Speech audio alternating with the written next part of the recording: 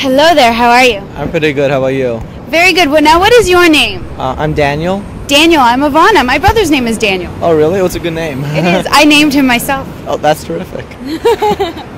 So, Daniel, um, now I have a very important question for you. Are you ready? Oh, I'm ready. Are you sure? I was born ready. Did you stretch this morning?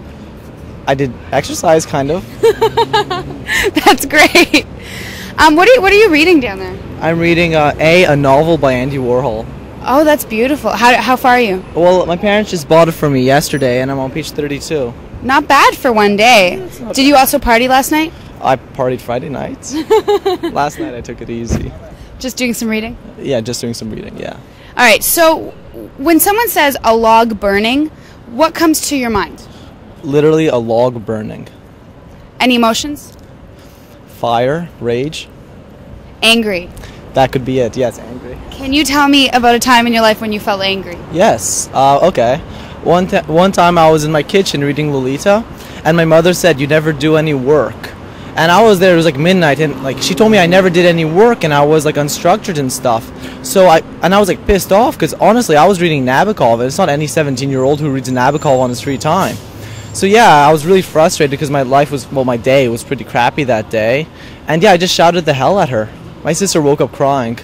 How old is your sister? She's 11 now. How old are you? I'm 17.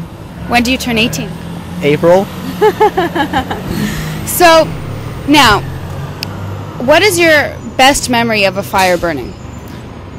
Probably this cigarettes. I, cigarettes are lovely, I, I do like them. They're, they're quite nice. but you're gonna have to quit soon. Do you know that? Well, my parents just told me that today. It's not cool once you hit 19. well, when I'm 19, I can buy as many as I want. Yeah, but I mean, you can maybe draw it out till the end of university, but after that, it's over. Yeah, you're right. Not a good influence on the kids. Yeah, yeah, exactly. All right, have you ever been attracted to a log? To a what? A log, Metaphorically speaking, or both. no?